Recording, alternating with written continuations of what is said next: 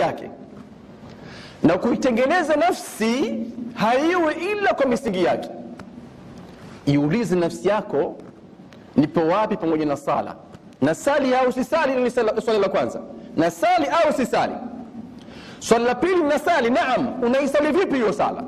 Unaisali ili umalize faradhi tano au ili umridhishe allah? Unasali ili uridhishe nafsi yako ya kwamba umesali au nasali ile sala ya kumridhisha allah na kama alivyokuwa kisali mtume sallallahu alaihi wasallam. yote haya takiwa uyapime katika sala yako. Kwa sababu tunapozungumzia ibada ya sala sala peke yake ni tarbia ni malezi. Allah mtukufu anasema inna salata tanha an lfahshai walmunkar. Hakika sala ukatazama chafu na maovu ndio maana katika athar man lam tanhahu salatahu ani lfahshai walmunkari fala salata lah.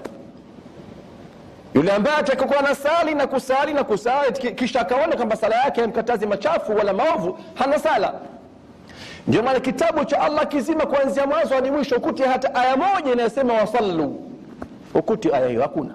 Hakuna kabisa aya inayosema wasallu. Bali allah asema waaqimu salata waatu zakata nasimamisheni sala.